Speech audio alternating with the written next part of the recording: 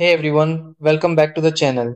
If you've recently renewed your Emirates ID or UAE residency visa and you're wondering how to update your renewed Emirates ID in UAE Pass, this video is for you now based on my own experience. Once your Emirates ID is officially issued, UAE Pass usually updates it automatically in their system. But to make sure everything is in sync, wait about a week after receiving your new Emirates ID. That gives the system enough time to refresh after that, go ahead and log into your UAE Pass app. If you can't log in, no worries, you'll need to recover your account first.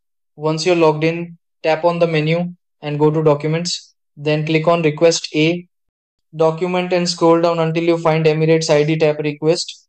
In my case, I had already requested mine, so that option is no longer available for me to show. But once you've done that, go back to the Documents tab and under Issued You should see your new Emirates ID already updated and ready to use and that's it.